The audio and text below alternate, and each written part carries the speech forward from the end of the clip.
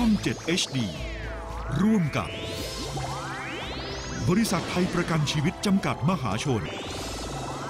และคณะแพทยศาสตร์ ศิริราชพยาบาล เสนอรายการ พบหมอสิริราช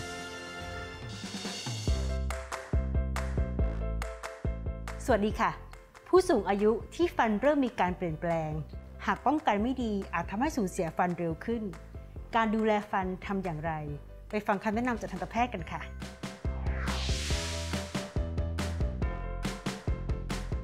การสูญเสียฟันในผู้สูงอายุเกิดจากอะไรคะ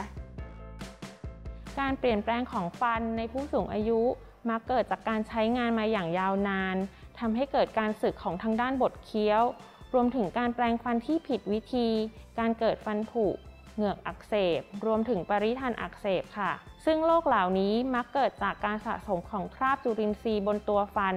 และการทำความสะอาดฟันได้ไม่ดีพอค่ะ ผู้สูงอายุควรดูแลฟันอย่างไรคะหมออยากจะเน้นเรื่องของการแปลงฟัน และการทำความสะอาดในช่องปากให้ถูกวิธีค่ะ รวมถึงการเลือกขนาดของแปลงสีฟันให้พอเหมาะกับช่องปากค่ะ การแปลงฟันควรแปลงฟันอย่างน้อยวันละ 2 ครั้ง นานครั้งละ 2 นาที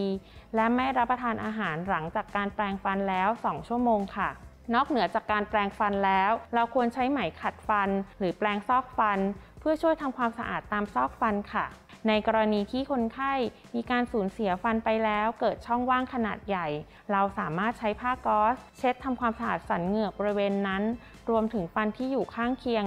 บริเวณนั้นให้สะอาดได้ค่ะ ขอคำแนะนำการใช้ไหมขัดฟันทำความสะอาดฟันด้วยค่ะ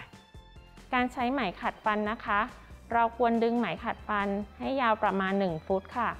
พันเข้ากับนิ้วกลางทั้งสองข้าง โดยใช้นิ้วโป้งและนิ้วชี้จับ หลังจากนั้นผลักไหมขัดฟันลงไปตามซอกฟันค่ะโอบไหมขัดฟันเข้ากับตัวฟัน ดึงไปมาประมาณ 10 ครั้งทำทุกซี่ฟันค่ะ